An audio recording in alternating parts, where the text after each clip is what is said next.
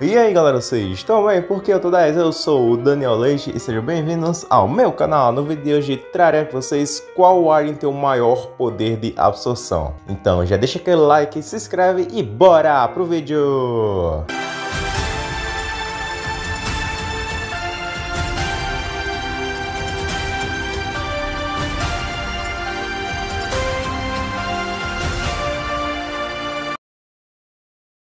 Então, galera, os nossos competidores aqui são Cromático e Feedback. Lembrando que os dois tiveram Exposed aqui no canal, né? Ano passado eu postei aí. Então veja aí o Exposed do Feedback, também veja aí o Exposed do Cromático. E se você for craque mesmo no assunto, veja o vídeo do Feedback, é uma droga, beleza? Vamos lá, o Feedback a gente sabe que ele tem um conceito muito legal aí de superação que foi abordado na série, em que quando o Ben tinha 11 anos, ele perdeu pro Malware como Feedback, mas aí 5 anos depois o Ben recuperou o feedback e ele conseguiu assim derrotar o Malware, então tem todo esse conceito de superação e feitos de absorção do feedback nem se fala, né, já que o feedback foi capaz de absorver nada mais nada menos que um canhão de Tachyon, que para quem não sabe, o canhão de Tachyon é uma arma utilizada como último recurso, já que é uma arma que tem o potencial para atacar aqueles com DNA semelhante ao do alvo. Caso, ele pode destruir todos os seres humanos em um raio de 100 milhas, porque os humanos têm menos de 1% de variação em sua composição genética, entendeu? Canhão então, assim que tem um potencial destrutivo nesse nível, o feedback foi capaz de absorver. O feedback é demais! E também temos aí o AIS da coisa, né, que o feedback ele foi capaz de absorver o Big Bang, ou seja, a energia de um universo. Aí você fala, ah, Daniel, mas faz sentido comparar o feedback com o cromático, por causa que o feedback ele é muito superior, já que ele foi capaz de tecnicamente absorver o Enormossauro Supremo e o cromático morreu duas vezes. Ah, qual é? Pra que serve esse cara? Ele é totalmente inútil. Eu posso virar quantos ETs? 1 milhão 903 amostras genéticas disponíveis. Desde que eles não sejam tão inúteis quanto este.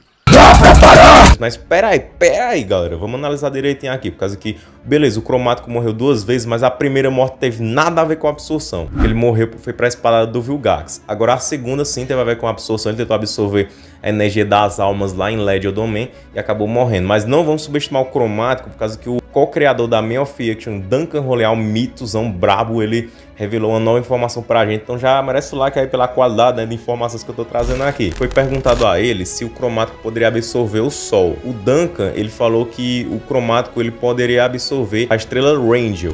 Para quem não conhece essa estrela Rangel, ela é uma super gigante azul que ela é maior que o Sol. Ó, oh, o Sol, para vocês terem uma noção, ele é 109 mil vezes maior que a Terra, ou seja, cabem dentro do Sol 1 milhão e 300 terras. Beleza. Aí a estrela Rangel, ela é 18 vezes a massa solar. A massa solar, para quem não sabe, é uma unidade de medida de massa, igual à massa do Sol, usada em astronomia para representar as massas de estrelas, galáxias e corpos de grandes dimensões. Beleza, aí essa estrela é 18 vezes a massa solar e 85 mil vezes o brilho do sol, entendeu? Então é muito grande. E tudo isso, o cromático, ele é capaz de absorver, confirmado pelo Duncan Roleal. Então, cara, ele tem um nível de absorção muito grande. Aí soma isso com a força que ele tem, né? Que Darwin confirmou que ele é mais forte que metanosianos. E também os raios ultravioletas dele são fortes, por causa que por mais que ele tenha perdido facilmente pro Vilgax, antes dele morrer, ele só soltou um raiozinho ultravioleta no Vilgax, tava boostado com os poderes dos 10 heróis de 10 mundos e mesmo assim ele voou longe ali com aquele raiozinho. Isso mostra o potencial bastante grande que o cromático tem. E fora que ele também tem uma velocidade relativística, já que o Sugilito ele voou muito rápido da Terra para Petrópia, somando tudo isso, aí se o Ben treinasse bastante cromático teria potencial para destruir a Terra, cara, por causa que pode absorver energia de uma estrela que é maior que o Sol, muitas vezes maior que o Sol. Mas então vamos lá. Quem é o vencedor aqui? Quem é o alien com maior poder de absorção? Que rufem os tambores. Cromático. Isso mesmo. Caramba, é o cromático. Legal. Tô brincando, é o feedback. Não teve graça.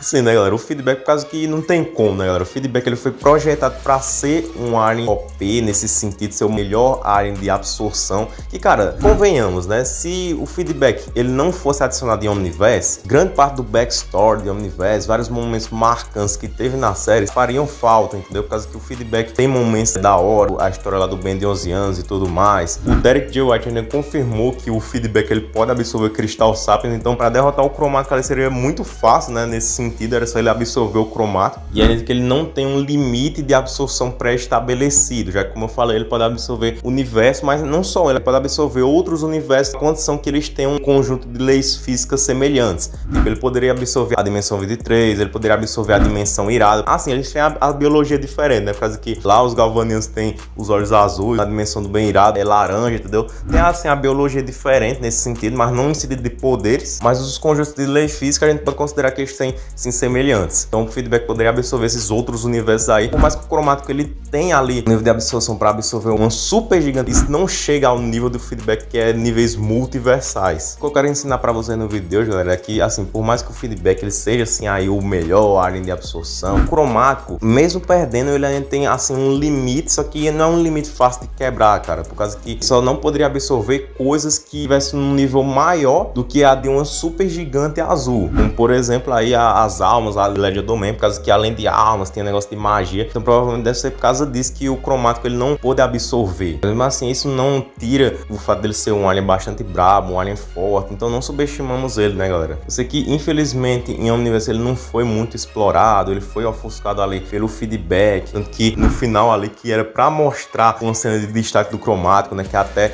mostra ele numa nova forma. Isso faz todo um tchan ali na cena, mas basicamente o cromático ele não fez nada. Quem conseguiu abrir ali a barreira foi a espada com o DNA Celestial, ou seja, foi o Scud que fez o feito ali. E mesmo se ele tivesse tentado absorver a energia do Big Bang, o Derek J. White confirmou que o cromático ele não conseguiria, por causa que é uma energia muito grande. Tipo, o limite dele é uma super gigante azul. Uma energia do Big Bang passa muito disso, que é o universo inteiro. Ou seja, ele não poderia absorver e morrer de novo se o Ben não tivesse destransformado. Por isso que o feedback foi o ar certo na hora certa ali, por causa que ele não tem um limite pré-estabelecido de absorção de energia. Mas mesmo assim, o cromático ele é um alien com poderes muito interessantes. Ele tem uma lore bastante legal.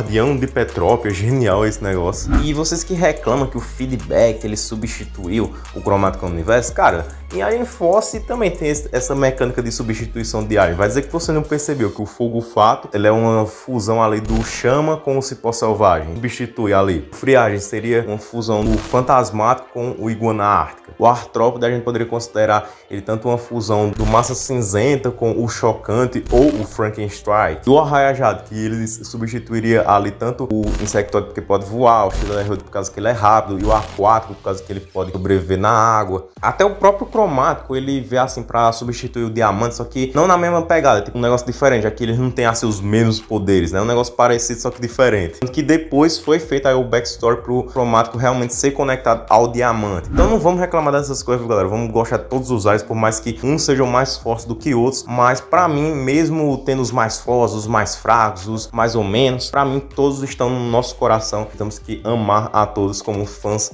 de Ben 10. E isso vale para ETs como Alcatruta e Camalha, porque o Daniel também gosta dele só não quer admitir. E não percam o top 10 aliens mais poderosos de Ben 10 amanhã. Beleza, então sem brigar nos comentários, viu galera? Por causa que é, é porque o feedback foi feito para isso? Não tem, não tem muito o que discutir. Feedback é o vencedor. É isso, galera. Esse foi o vídeo. Espero que vocês tenham gostado. Comenta aí o que, é que você achou. Quem que você gosta mais? Você é time feedback ou você é time cromático? Deixa aí nos comentários. E é isso. Deixa aquele like, se inscreva no canal se possível, seja membro, ativa o sininho, falou e tchau!